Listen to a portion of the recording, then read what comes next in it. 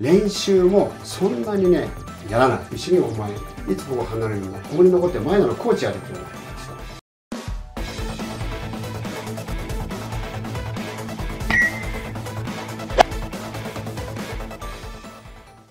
それでは石毛ひろみし TV です。えー、待ってきました。はよいろしくお願いいたします。なんだっけ？チャンネルチャンネル登録とそしてグッドボタンをはい。お願いいたします。よろしくお願いいたします。はいさて今回はですね、はい。えー石毛さんにメジャーと日本の違いをお聞きたいというところで。おー、えー張本さんに聞いた方がいいんじゃないか。なカーって言うか。もわか。けどいろいろ出てくるかと思いますが、はい。石毛さんあの引退された後ですよね、はい。あのメジャーリーグへコーチ留学にそうですね。行かれてはい。いました。はい。96年にダイホークスで現役生活終わりました。はいで1997年アメリカコーチ留学をさせていただいて、はい。でも僕のねその人生人生設計に入ってたんですよ。引退したら必ず最低1年間アメリカ行ってアメリカのベースボールを見たいという。はい。アメリカでどういった国民性文化はい。慣習などからこのベースボールが生まれたのか、はい。えーそれをまず知りたい見たいと思ってえ。行きましたで、えー2月5日に渡米をしてーはい。ロサンゼルスドジャースに入りましてロスに入りましてはい。うちも見つけてですね、あ。えーまあ、家族連れて行ったんですけどはい。でその後すぐ、えードジャースのキャンプ地はフロリダなんで、はい。ベロビーチなんで、うん。えー行ってまいりまして、はい。で要はあのー彼らと同じ地に足をついて同じ空気を吸って生活をすればどんな国民性文化監視の上にこのベースボールが生まれたのか、ええ。まだそれをまず肉体で感じたいなと思っていきました。でキャンプを見て、えースプリングトレーニングから今度はオープン戦、えーこの辺もねちょっと違うんですよ。あのー大体ねキャンプは最初はもう本当にこうキャンプと言いながらも日本でいう自主トレよりも軽い練習メニューですよ。うん、でなんですかあの日本は今、まあ、キャンプ前には体を仕上げて、キャンプ初日からゲームできるのも作ってこいって言いますけど、アメリカそんなことなくてそれこそ本当にもう今から野球やるよなみたいなのがキャンプスタートなんですよ。でそれこそ1週間10日ぐらいやってすぐオープン戦入ってくるんですね。あそうですか。ええ、でオープン戦もあのアメリカの野球って先発今5人で回してるんですけどね、は中4日でで、まあ、先発5人が決まるわけです。はい。セットアップは決まっていくんです、クローザーは決まっていくんです。そういったなんだろう一つのピースみたいに仕事もみんな決まってんですね。じゃあ先発5人の若のピッチャーがいました。はじゃあオープン戦始まりました、いうん。最初の、まあ、1番手のピッチャーが「お今日球数20球な」ったら「はいわかりました」っつってそれこそキャッチボールに毛の生えたようにピッチングしてカンカン打たれるわけですよ。はい。で規定数え投球数に達するとは例えばツーアウト満塁でも「はい交代」って変わっちゃうんですね。もうそれ以上投げなくていいみたいな。いや今ここで打たれようが何しようが君の実力が分かってるしそれに対する対価として年俸払ってるからいいよ。今君はここで調整してるんだから調整の場としてこのキャンプを使ってくれという。いはそういうものはっきりしてるんですよ。そうですね。はでまあずっと投げていくとまあ3月のお後半くらいにはこうねダーンと上がっていく,、い、くんですけどね、はい。うんでそうやってまああのー行って3月の下旬から開幕をしてはい。僕は4月5月とメジャーリーグに着いたんですよ。で僕はドジャースと一緒に旅しましたからそれこそ西海岸から、えー中地区から東海岸とかいろんな移動もあってですね、これがねほとんどまあチャーター機ですから楽は楽ですけど、ね、面白い。あの家族も連れてく人もいるしはい本当にこうファミリー的な感じですよね。やはり移動は時差があって大変かもわからないけど、え案外移動は楽ですね。うん。それで、えー日本とまだゲームのやり方違うのが、例えば日本はプレーボール6時、ナイター6時。はいそれが、大体ゲームやるかやらないか天候によって決めるのが大体ゲーム3時間前なんですね。はい3時か、遅くとも4時にはゲームをやるかやらないか決めるわけですね。雨降ってたら中止みたいな。でメジャーリーグは、えー、大体7時プレーボールなんですけど、あのー雨降っててもずっと待つんです。中止するかやるかを発表せずに。ということはメジャーリーグってはい。半年間ではい。162試合消化しなきゃいけないんですよ。は。ははうん。雨が降ったから中止にして10円にしてという余計な日程がないわけだから、あうん、雨が止んだね。じゃあゲームやろうか。プレーボールが11時とかね。ー。ゲーム終了1時とかにしてざらにあるんですよ。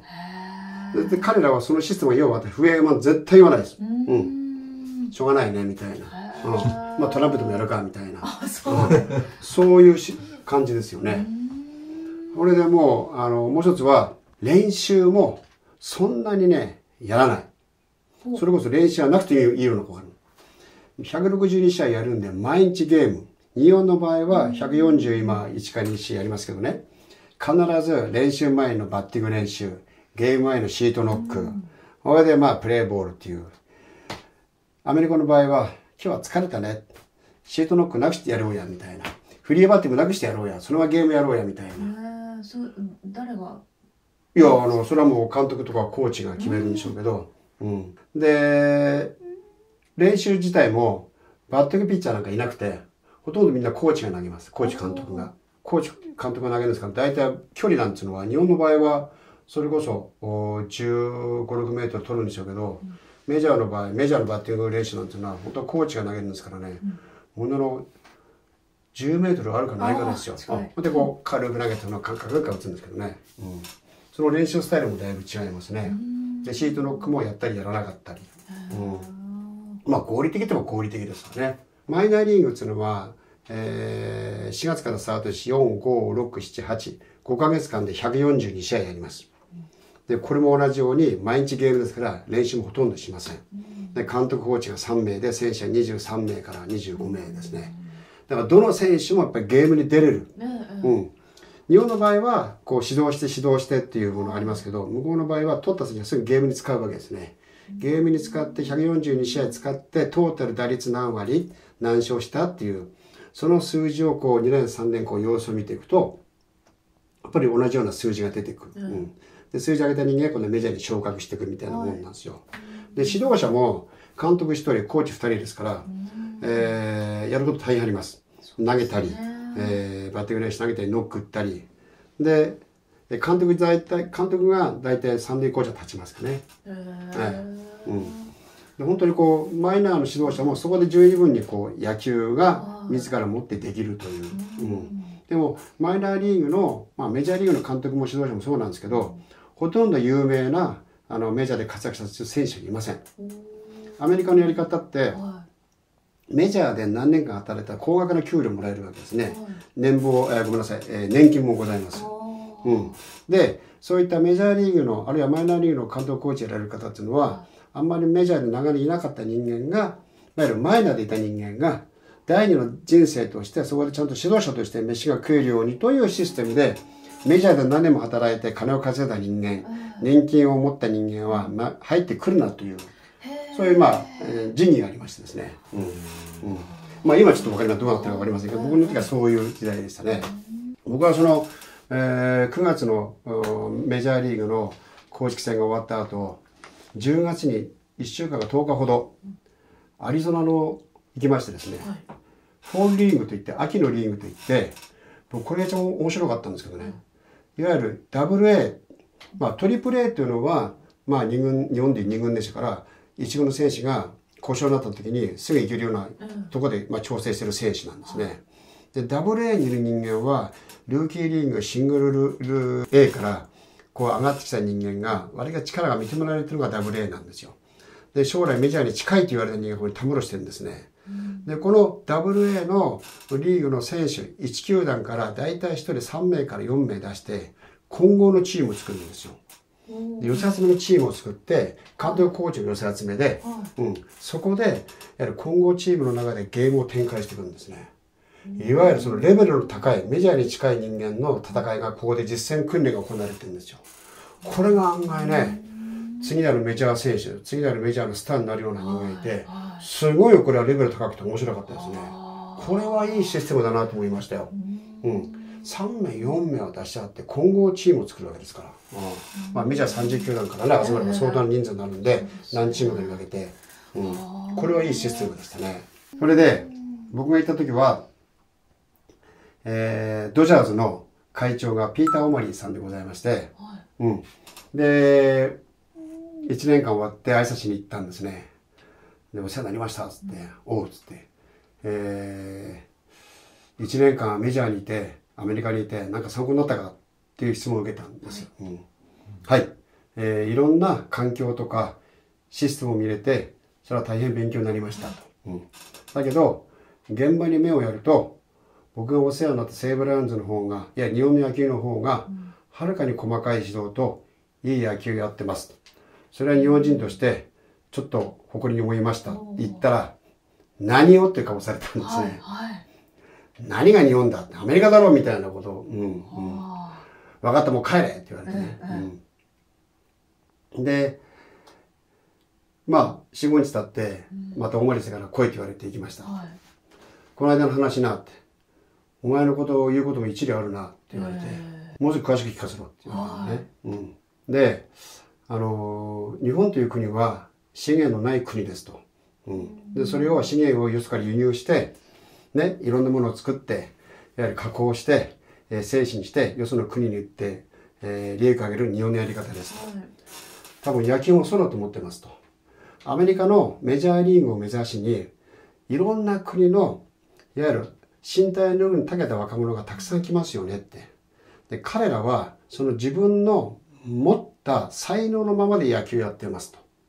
うん。で、これだと、まあ、多少時間と、えー、環境を与えればうまくなるかわからないけど、それ以上の、例えば3割打つ人間はずっと3割で終わりだし、2割5分のバッターはずっと2割5分で終わりですと。うん。僕が行った時はもうメジャーリーグ39段だったんですが、あのー、そういうシステムは24くらいの時は良かったんですけど、エキスパンションでチーム数が増えて、えー、本来はマイナーにいなきゃな人間がメジャーに呼ばれますよねっていう。でそうするとこれはメジャーリーグの質の低下を招いていく現状になりますと。うん、だから、こういった素材的に恵まれた優秀な若者をその一流のアスリートにするためには、これからアメリカのメジャーリーグも日本人的なコーチが必要な時代に来るはずですって言ったんですよ。はいうん、なるほどなっていうことを言われて、で、何かというと、俺が WA にいる時にね、サンアントニオにいる時に、えー、あるその監督と打撃論でやり合ったんですよ。はい、ロン・ロニキーという監督ですけど、はい、その、その後彼は、えー、ドジャースのコーチやって、その後どっかのブルージェイズかな、監督やって、今もどっかの監督やってんじゃなかったかな。ええ、非常にまあ、論理的で素晴らしい高青年って、高青年じゃないな、え高指導者だったんですけどね。で、一時期バッティング理論でやり合ったんですよ。それで分かったと。じゃあお前に一人選手預けると。はい、うんあのー、ちょっと名前定かでリーという選手だったかな。白人選手で左バッターだったんですよ。で、この選手は、アメリカの選手会がストライキやった時に、代替選手出てしまった選手なんですね。で、わりかし力は、体も力もあるんですが、そのメジャーリーグの選手会に言いますと、俺たちが選手の待遇改善のために戦ってんのに、なぜお前俺たちを無視してオーナー側に言われて、金積まれて選手出てんだ。うん。そんなのまかりならんっていう選手会からのちょっとこう、いろいろなものがあったんですよね。で彼はいくら頑張ってもメジャーに上がれないとこう自分で思ってるわけですよ。でその選手を見ろと言われたんですよ。でその選手はその当時1割8分くらいだったんですよ。ホームラン1本か2本。7月の上旬ですね。でその選手と僕は向き合ってあの論といろいろ話し合って俺は君を見るように言われたんで明日からバッティングの指導をすると。俺は君にもっと上手くなりたいと思ってやってもらいたいと思って君はできるはずだ。だから明日からちょっと俺と付き合うかって言ったら、うん、やろうみたいになって、それはまあ1週間投下したら、彼が3割くらい打ち出して、ホームランも5、6本打つようになったんですよ。はい、うん。で、7月の下旬にはホームラン10本くらいあって、ダメ打率3割3分打つようになったかな。うん。で、いわゆる、その今まで打てなかったやつが打てようになった。石毛となんか練習前に練習してるみたいだぞ、みたいな。で、そのうちの今度は最終の3日4日前になってきて、石毛お前、いつここ離れるんだあと3日4日でこのチームから離れるって言ったら、え、そうかってで翌日から長蛇の列ですよ。俺にも教える、俺にも教えるみたいな。うん、まあ多分そういうのがロンロニキの方から多分レポート上がってたと思ってるんですよ。うん、でそんなことがあったんで、まあピーター・オマリーさんが、まあお前に言うこともわからんな、うん、言う言う言うことも正しいかもわからんって言われて、もう強いてはさって、ここに残って前なのコーチやれって言われたんですよ。俺にとってすっげえ嬉しいオファーだったんですよ。はいはいはいうん。でも11月の上旬に、僕その頃ね、大英ホークスの肩書き名刺をもらって、コーチングさせてもらってたんですね。うんで、あのーもう帰って二軍の監督やれっていう話があったもんですから、非常に嬉しいオファーだけど、はい。実は俺は帰って二軍の方見なきゃいけないんだから、申し訳ないっつってね。まあ、泣く泣く小狩さんの誘いを断ってしまったんですね。もしあれがなかったら、はい。それはノムが行ってね、えートルネード旋風で頑張ってる時にノムが頑張ってくれてました。あー日本初のはい。メジャーリーグコーチ目指すのもいいのかなはいと思ったんですけど、うんまあ、残念ながら泣く泣く帰ってきちゃったんですね。うんえーご覧になっていただいてありがとうございます。えーお願いございます。まず、チャンネル登録をお願いします。そして、いいねもついでによろしく。それで、いろんなこと思ったら、俺こう思うよ、いいねとかいろんなものあるでしょうから、コメントもよろしくです。